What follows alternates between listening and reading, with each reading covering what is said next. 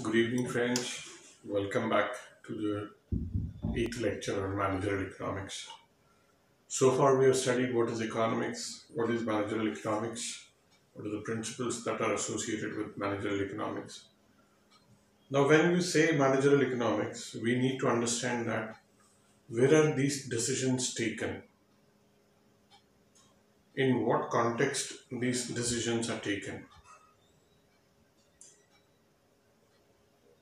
The exact organization or exact place where these decisions are taken.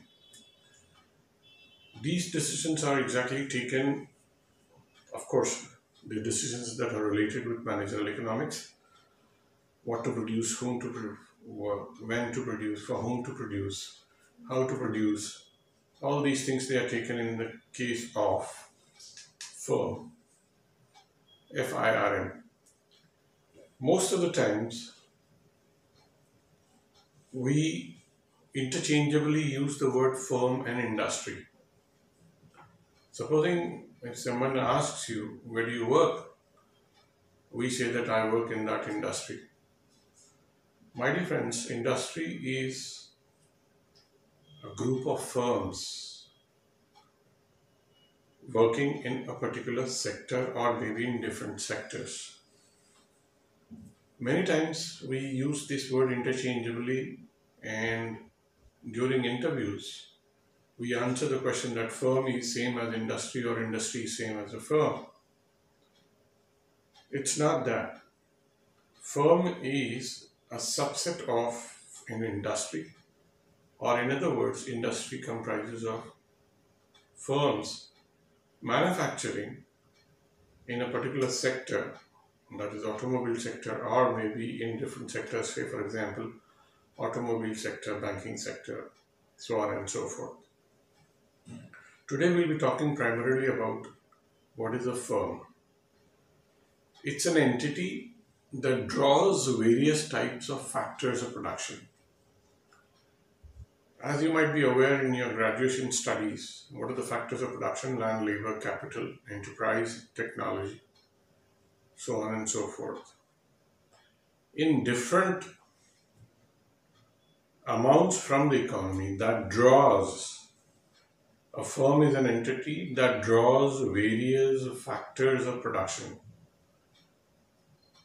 in different amounts. Say, for example, some industries might be capital intensive, some industries might require more labor as compared to other sectors of the industry. Some enterprises, they don't require labor, they don't require capital that much, but they require, say for example, land. So anywhere that draws various factors of production in different amounts from the economy and converts them. It does not simply draw and converts them into desirable outputs. Right? Desirable outputs. Now, the word important here is desirable. So, what is a firm? It's an entity that draws various factors of production in different amounts from the economy and converts them into desirable outputs through a process. Here, through a process, when we say that, we mean that we use technology to convert different factors of production into desirable outputs with the help of suitable technology. Right? You use a certain process by using certain technologies. So, that is what a firm is all about. Right? A firm is not, say, for example, XYZ company. No, that's not firm. What does it do? It draws various factors of production from the economy in different amounts, not in equal amounts, right? In different amounts means not in unequal amounts. In different amount means as the output desires, depending upon the type of the output, quantities are drawn, factors of production, the quantities are drawn from the economy and they are converted into desirable outputs through a process with the help of suitable technology. Suitable technology. Every single word in this definition gives you a clear understanding about what a firm is all about. It's very simple to understand the concept of firm.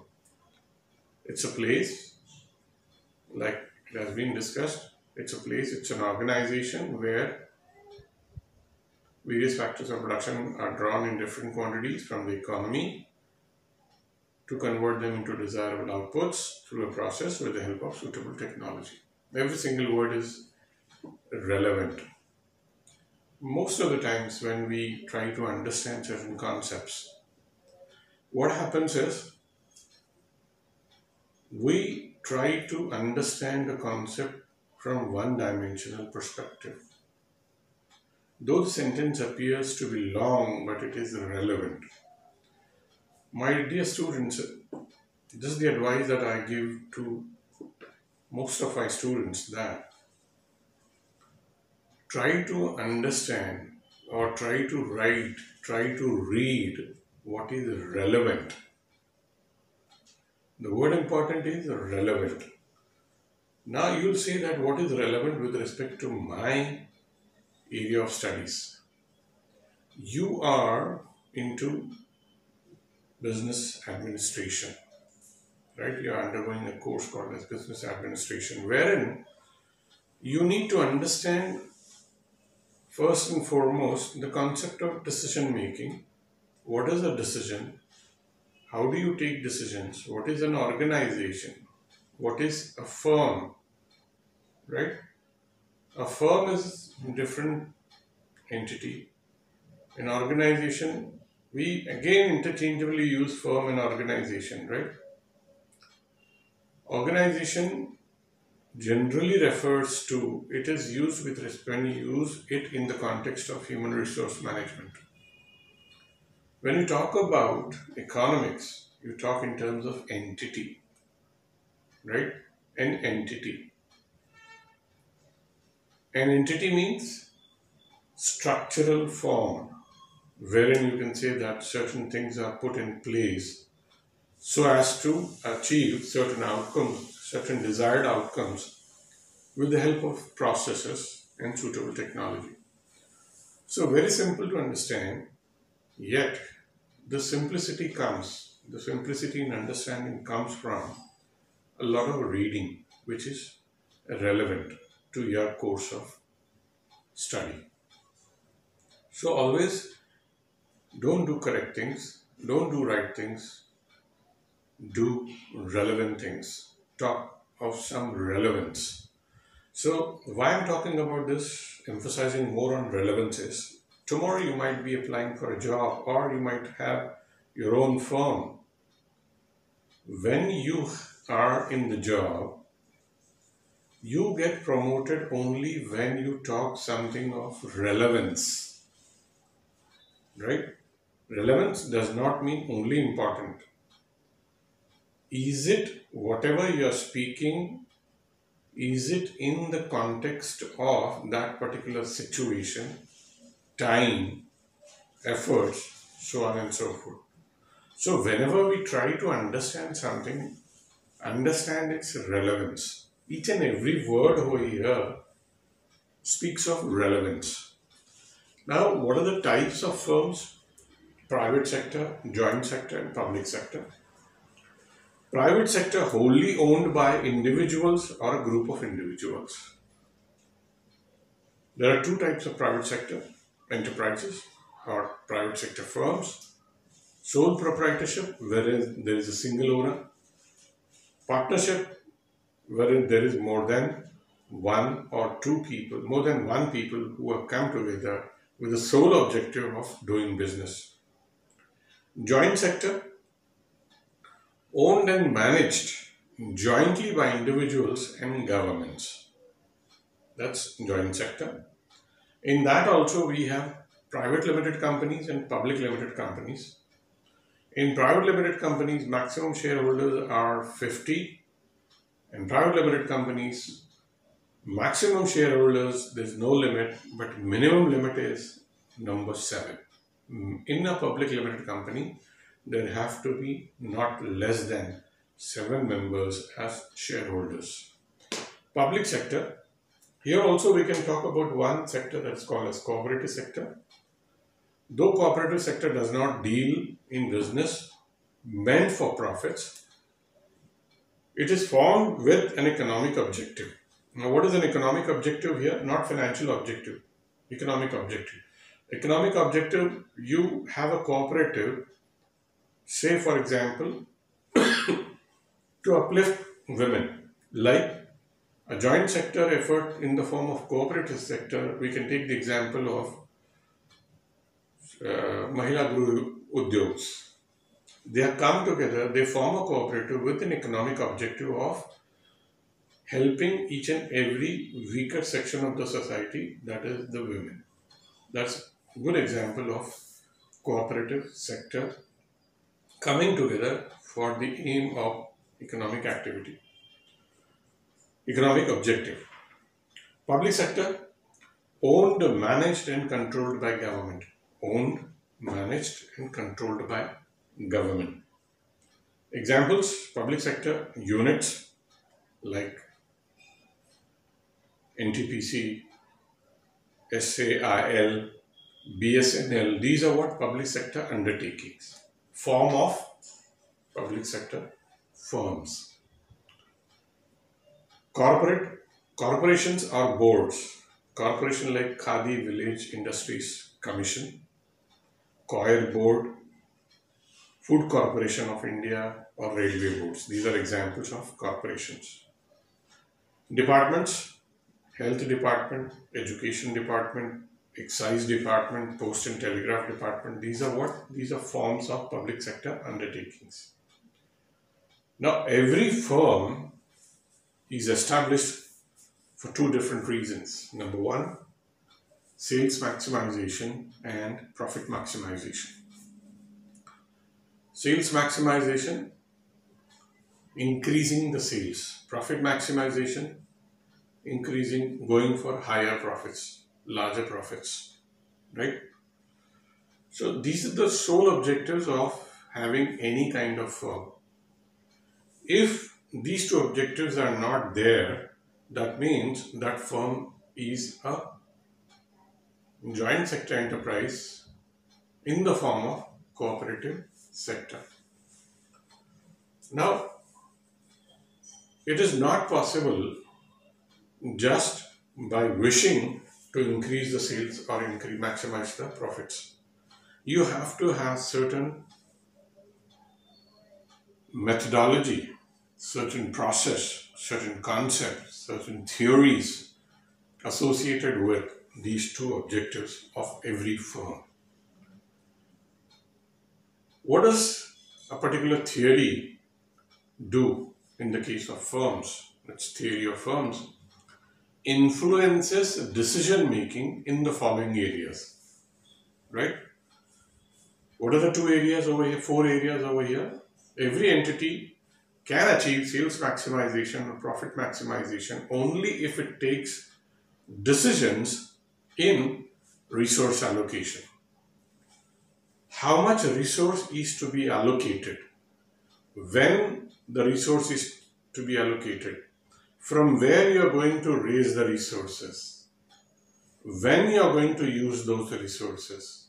That is, if the firm is doing well, extremely well, are you going to go for expansion and raise further resource mobilization? So how do you allocate resources? The timing of resource allocation also plays important role in achieving sales maximization or profit maximization objectives of a firm.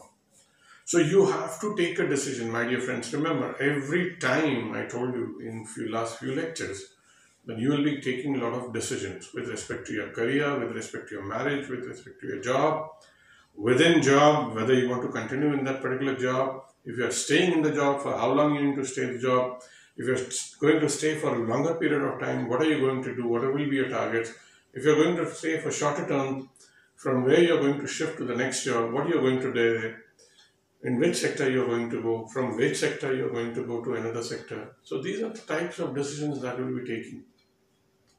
So theory of firm influences decision making in resource allocation, production techniques, right? The techniques that are associated with production, are you going to go with stable techniques, intensive techniques, or slow techniques, or whatever it is, depending upon the type of product or services that you manufacture or you provide. Pricing adjustments, going by the nature of the product, going by the nature of markets, going by the phases on business, phases of business cycles, right? Going by the different phases of economy, how you're going to tweak the prices so that there is demand, there is always a demand for the product, which is going to lead to sales maximization or profit maximization, achieving the objective. So, pricing adjustments. If the demand is high, are you going to go for increasing prices? If the supply is more, are you going to go for decreasing the prices or not? Whatever it is, right?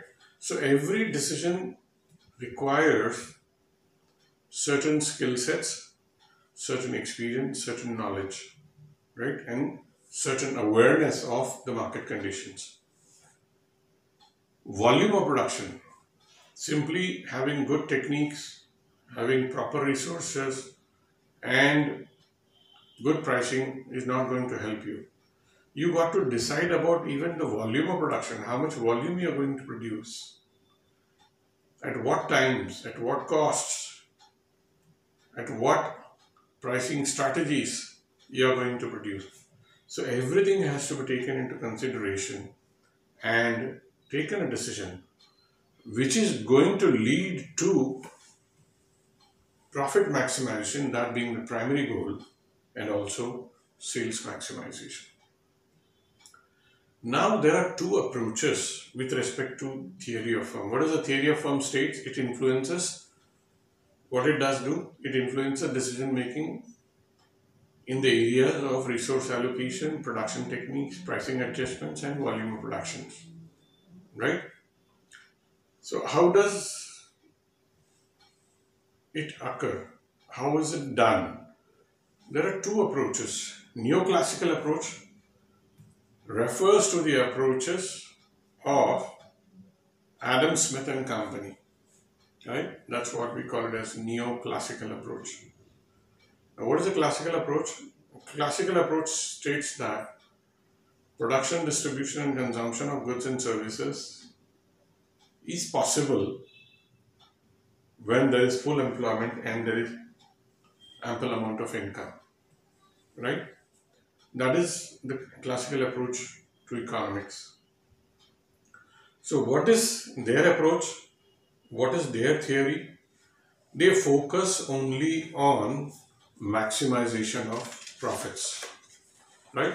They focus more mainly on maximization of profits. How are they going to do? They emphasize on what type products they are going to manufacture.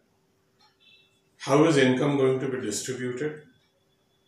How is market going to be controlled through supply and demand so everything it has leveraging something or the other so that we maximize our profits, right?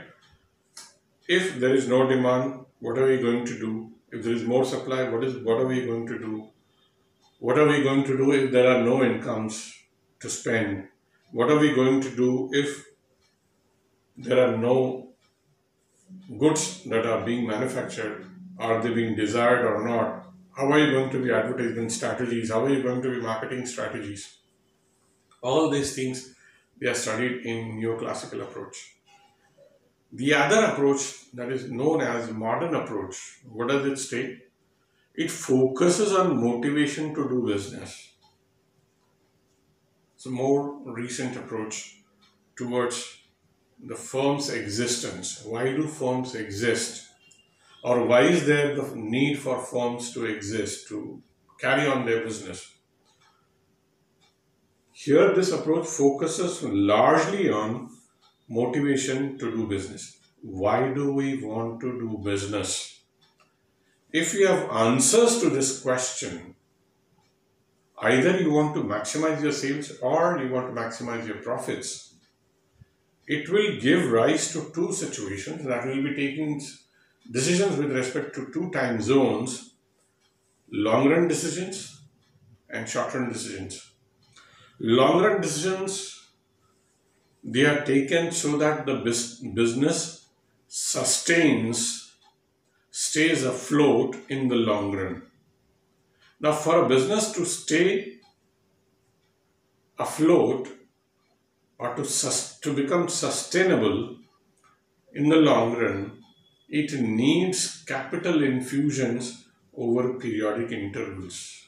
Capital infusion means after certain intervals of time, you need to have capital infusion. New tech, new capital should be pumped into the business to run the business. That is the long-term approach in the case of modern approach. That is the long-term motivational goal. That is the long-term goal of business, doing business.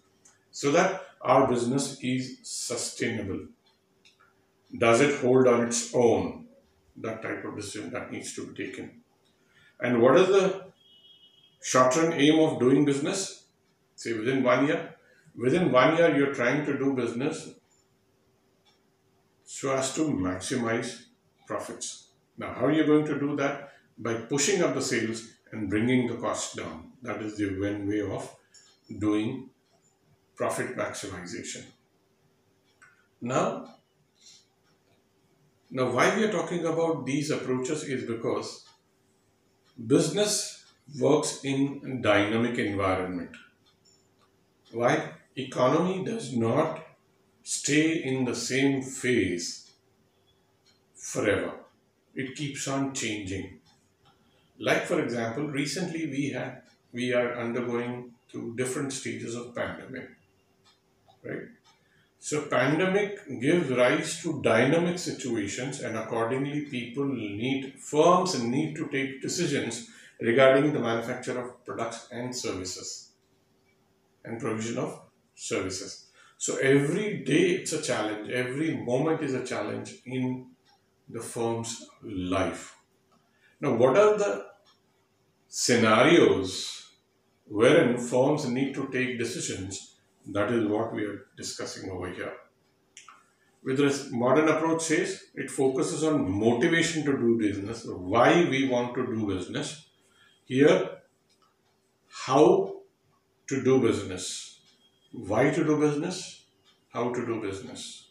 But of late, this approach seems to be in sync with modern term, times.